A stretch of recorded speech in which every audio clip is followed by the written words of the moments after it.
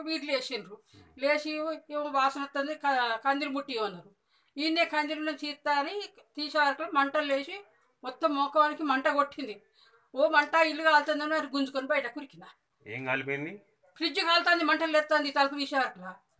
ఆ మంట అంతా మాకు కొట్టింది బట్టలు అంటుకున్న ఇల్లు అంటుకుని మొత్తం ఇల్లు ఏం కనపడకుండా అయిపోయింది. రాత్రి ఎన్ని గంటల ప్రాంతంలో ఒంటి గంటకు. ఇంకేమేమి కాలిపోయినాయమ్మా? అన్ని వస్తువులన్నీ కాలిపోయినాయి ఇక. ఏం చెప్పాలి? ఏమని బట్టలు చెప్పాలి? బట్టలకు పైసలు ఎనభై వేలు డెబ్బై వేలు అట్లా పెట్టుకున్నారు. నిన్ననే. పైసలు డీడీ కడతా అని బియ్యానికి. పైసలు రాత్రి మూడు సార్లు ఉరికొచ్చింది ఇంట్లో. పైసలు రాయ పైసలు. వాళ్ళు గుంజుకపోయారు దూరం మీరు చచ్చిపోతారు పైసలు పోతే పానం పోతే అని గుంజుకపోయారు అవతలకి.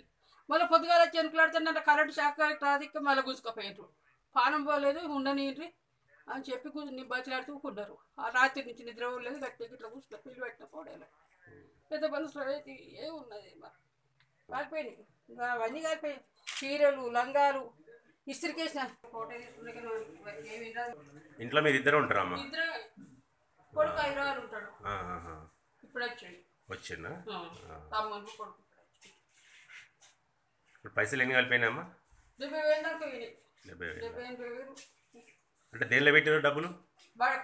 బెడ్షీట్ మార్చాల పెట్టుకున్నారు.